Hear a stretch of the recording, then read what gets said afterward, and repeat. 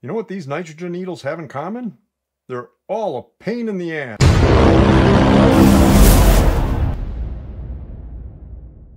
Hey folks, we're back again with another video and today's video is going to be about filling up the IFP chambers on Fox shocks that have pellets using a shock pump and syringes, all right? So this is the worst part about working on a Fox shock, really, at least a DPS in this case, filling up that IFP chamber with syringes, right? So this is going to be a one-shot video. It's only going to be about doing this. I'm going to try and go into as much detail as possible in order for you to be able to successfully get this part of the job done, all right? So next up, let's go into what you will be needing for this job. As for tools, at a minimum, we are going to need a high pressure shock pump, which I got a screw, the back came loose again. You need a high pressure one. We got to go up to 500 PSI with a DPS, right? Ultimately, you can't do that with a regular shock pump. It ends at 350 most of them. So high pressure shock pump for sure. Then we are going to need syringes and needles. Now, as far as syringe bodies, there's many different types. This one you buy in parts and pieces. It absolutely requires plumber's tape in order to make sure it doesn't leak. This one you buy them as is, and when you buy them brand new, they do come with their own needles. I'm going to get into that in a second. And this one's brand new. I've never bought it before. This is by far the smallest version of a syringe body that I've seen and it's super light as well. So I'm hoping this works out a little bit better, okay? Now, if you notice over here, there's two different types of needles, and there are two main types of needles. One of them is your typical needle, which is a plastic hub needle, and the other one is a metal hub needle.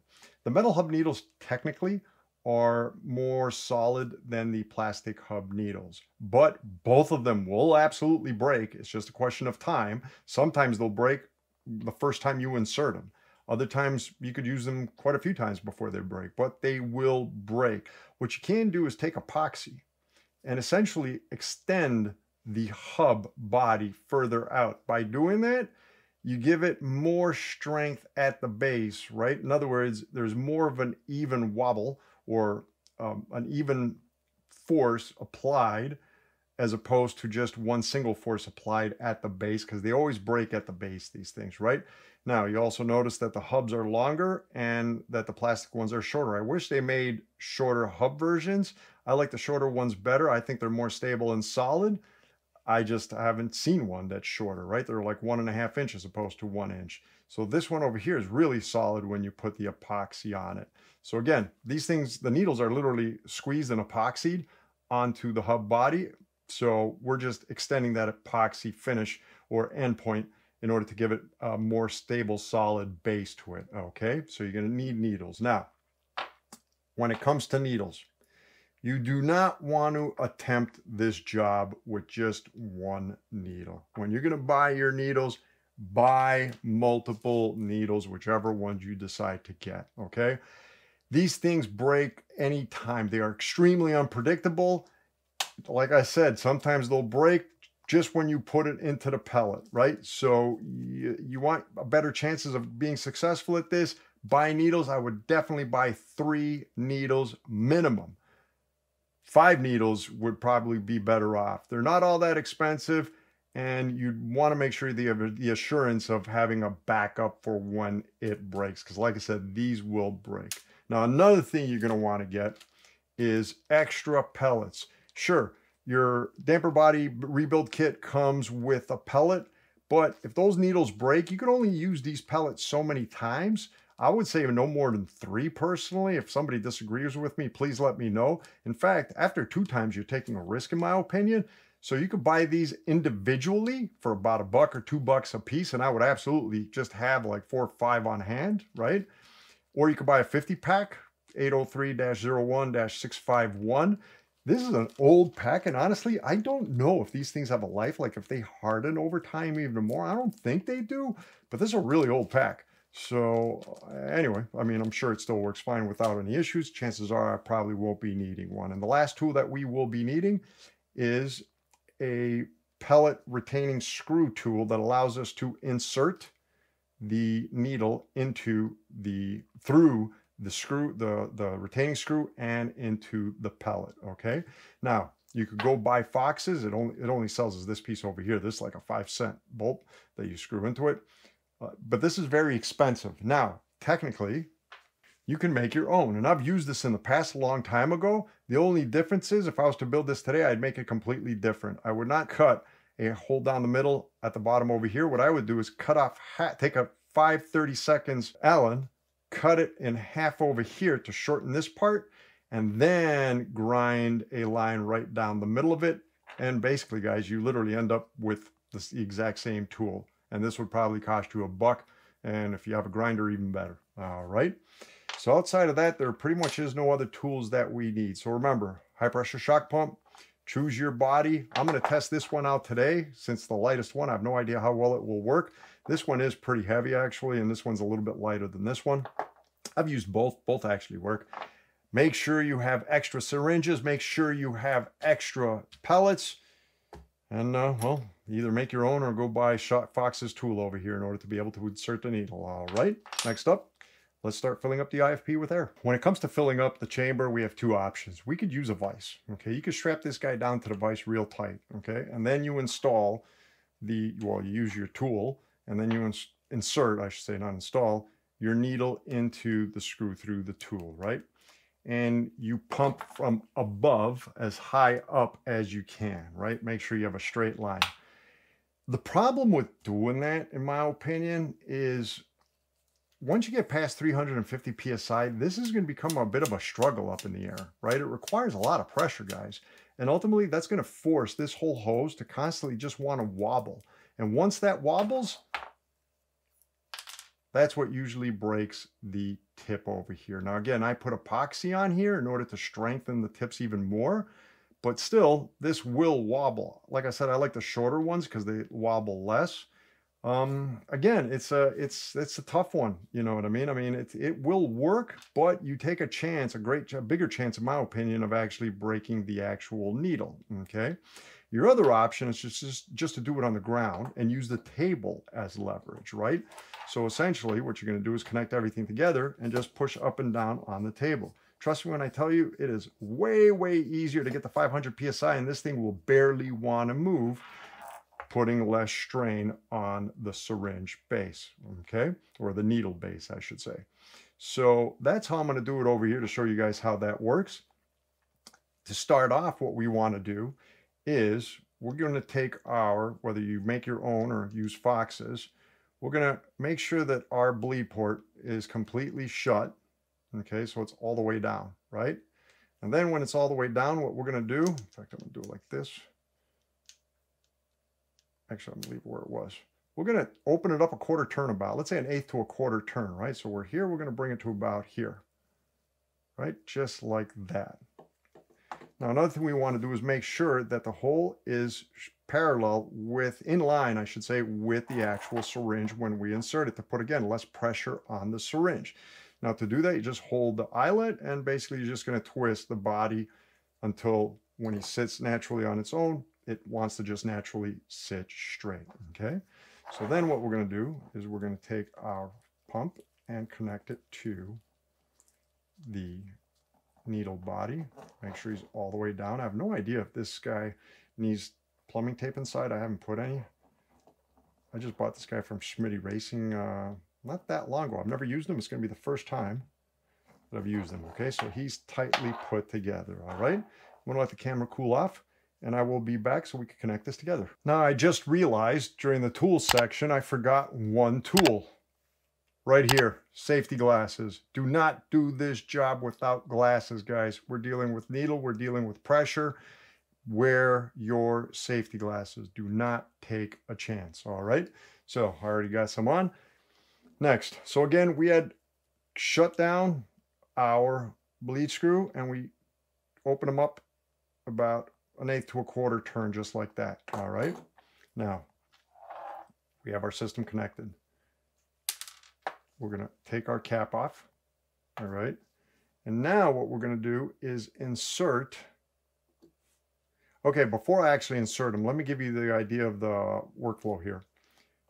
We're going to insert them. And when we insert them, we're going to tighten them back down pretty hard, nearly all the way. Not absolutely completely all the way, but really hard because the way the pellet works, it essentially gets squeezed by pressure. So when we put the needle in there, it's going to create a hole.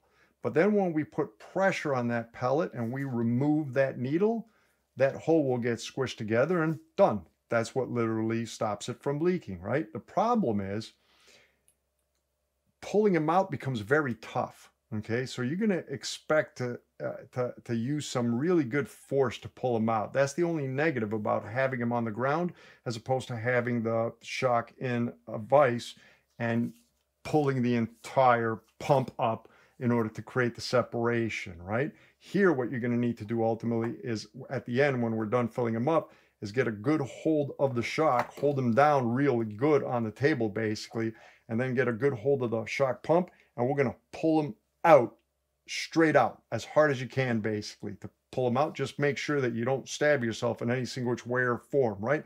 If you pull them out far enough you shouldn't have that problem. So again when we're done we insert them close this up pump them up hold this down hard to the table and then pull the shock pump with some really good force. Okay, now sometimes what happens, and again, this epoxy will help. Sometimes what happens when you put this guy, because these are weak, when you screw this guy back down and you tighten him up in here, sometimes this will completely separate from the hub, right? Especially with the plastic ones. I've seen that happen multiple times. Again, these things are weak. This is a crappy solution. I wish Fox didn't do it, but it is what it is. Again, we're going to try and figure out if you guys could do this successfully each time you work on your shocks. All right, so now let's go through the whole process. So again, we had them closed. We took them, we opened them up about an eighth of a turn to a quarter turn, right? Somewhere over there. All right. Now we're going to take our needle. We're going to put them in the middle. If he's too stiff, then you, that means you need to open them up just a little bit more. Now these long needles are a little bit, see what I mean? How they bend? That's what I'm saying. I, I don't like these long needles. I probably just broke this one to be honest. Okay, now I'm in, right?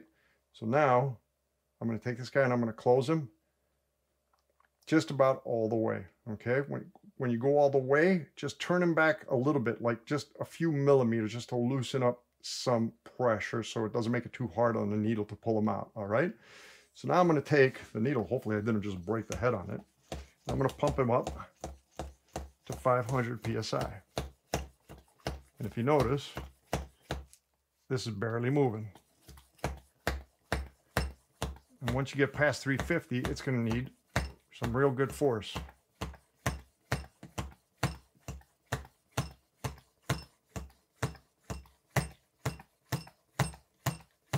Okay, 400. So far, so good. 450. Now I have a leak. I hear it. Yep. I'm not going to be able to go past 450. Again, you can hear the leak. Question is, where's the leak coming from? Is it coming from here? Is it coming from here? I'll be back. I'm back. I want to make sure that the leak isn't coming from here. Like I said, I've never used that one before, so I got some soapy water on it. Let's pump this guy up.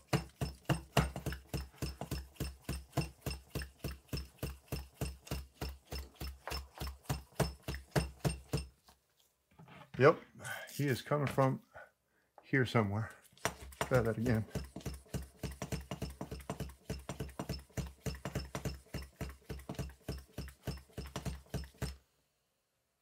Okay, you know what? I might get lucky over here. Might be just this connection here. From what I could tell, this was a little loose, but most of the air was coming out of the screw point into the shock pump and I ended up putting plumber's tape inside there, right? Hopefully I'm tied down. Hopefully this thing's not broken right now. We'll find out.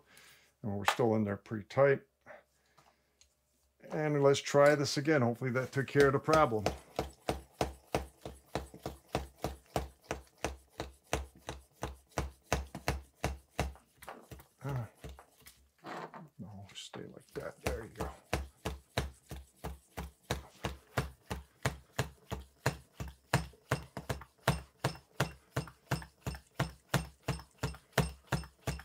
All right, 450.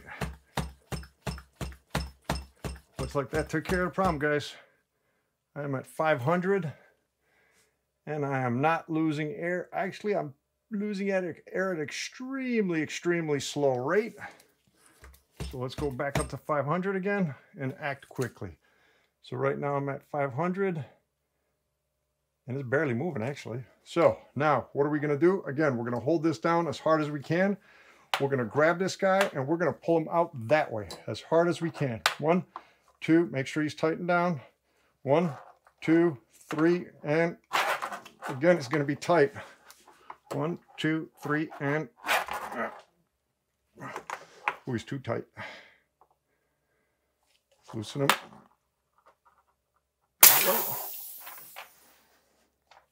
All that air you heard came out of here. And we are tight. Cool. Now, let's test them. Now, to test them, usually I would put them on the dyno. Ultimately, you guys probably don't have a dyno. Let's just test them on the vise. Okay, so we're going to clamp him in real good. Make sure he's in there real solid. Put him in the fully open position and make sure that your rebound is in the fully open position as well, right? And then what we're going to do is apply pressure straight down, and you should feel quite a bit of pressure. should sink. There we go. And he comes up real nice. Look at that. Whoa. He definitely makes it all the way down. Yep. So we don't hydrolock. We are good. Put him all the way down. Now what we can do, put him in the locked. He should not. He does not move one set one millimeter. Let's put him in the pedal in the middle should move. That needs a lot more pressure. It moves, but it needs a lot more pressure, so that works. Now let's close the rebound the whole way. Actually, these clicks feel a lot better than before. A lot better than before. So now we should be able to sink them all the way down, but he should take his time coming up. And there you go. Done. A successful syringe IFP chamber fill. Uh, guys, I hate this thing. You know I hate this thing. I've said it I don't know how many times over, but ultimately it is what it is. If you decide to do it this way, if you don't have a nitrogen kit, right, which is much more expensive than this, it can be done this way, but I'm telling you right now, don't fool yourself into thinking that you're going to be able to do it with one syringe. Anything could happen. It's not easy. The shorter needles, I like them better. This setup, I don't know if I'm a big fan of it. This is really nice and light, which is really cool, but I don't think it makes a difference when you're on the ground. When you're on the air, I'm sure it'll make a lot of difference actually, because it won't want to flop around as much just from all the added weight down here, right? So again, pain in the butt, very doable. Just make sure you have extra syringes and make sure you have extra pellets and make sure you're wearing your safety glasses. Okay? Guys, seriously, if you like the video, please click the like button. Click the subscribe button to see more videos. Click the bell button, what ding, in order to be notified when new videos get released and more videos are coming, all right? Until then, I hope all is well with all of you, and we will be talking to you soon. Have a good one. Take care. Bye.